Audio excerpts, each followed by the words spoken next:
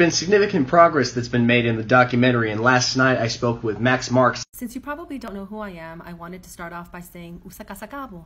My name is Elba, and I am a Taino Arawak woman who recently came across the video I just stitched and have a few things I'd like to say. I haven't been a follower of Lance Sosi for a while now, but I find it more than a little suspicious that out of all of the creators who have been problematic, he is who you chose to focus on.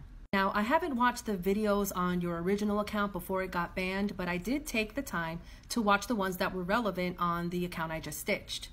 That said, I saw that you've called out Lance in the past and supposedly people who were being racist towards him, but not that you've advocated for black and indigenous people of color prior to your beef with him. You've gotten a lot of flack for taking on this project, and I also noticed per this comment that you mentioned being from the same tribe in Denver. Have you reached out to your elders to get their blessing? I ask because it's my understanding that they have already spoken to Lance. That and I feel like their go ahead would make a huge difference with regard to how your work is perceived.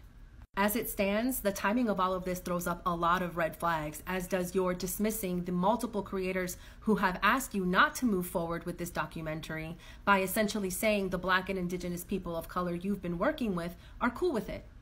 Their voices are valid, as are those of the 30 something Indigenous creators you claim to have interviewed so far, but their voices should not be used to disregard everyone else's. I believe that a better way to go about this would be for you to use your platform to share the videos of Indigenous creators who have already addressed Lance and encourage your followers to compensate them in some way, shape, or form for their time and energy. Had you done this and then later came out and said, hey, I have an idea for a documentary and I want to uplift your voices, people would be a lot less hesitant to participate.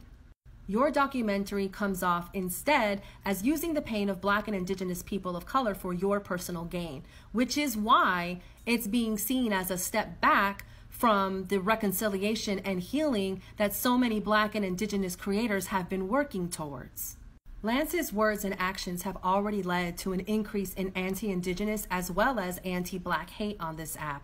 And the fact that you don't seem to care how your documentary would exacerbate this issue is precisely why so many have told you that you have no business doing it in the first place.